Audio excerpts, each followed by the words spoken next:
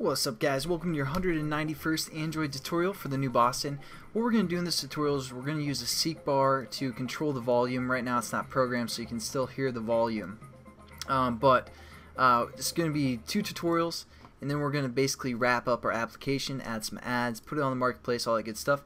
Um, so we're going to kind of go quickly but not too quickly. Um, all we're going to do is we're going to create an XML layout that has a seek bar and that's under the form widgets and it's right here seek bar throw that in and you know add a ID to it. I called it seek bar volume.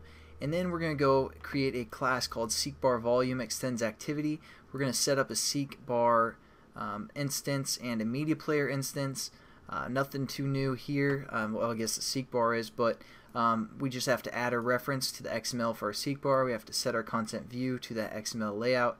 And within the onCreate method that's where we're going to start our media player uh, again, I just referred to that uh, background music um, RAR folder that or RAR, you know, uh, sound that we included in our project.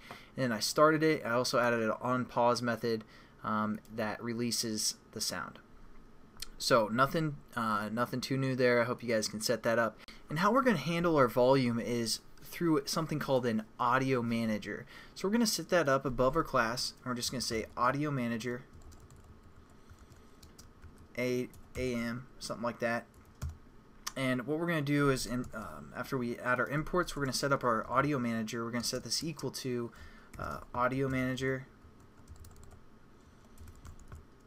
Just the basic setup and again we're going to say get system contact or system service.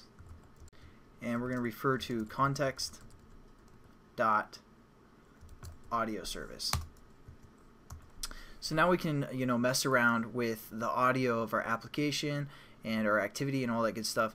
So uh, what we're going to do now is we're going to set up basically the current volume that the person has on their device and also uh, the maximum volume. So we're going to say, uh, and these are going to be int values, so we're going to say int max v and we're going to set this equal to our audio manager um, dot get stream max volume and we're just going to refer to the audio manager class. We're going to say dot. And we're just going to say stream uh, music.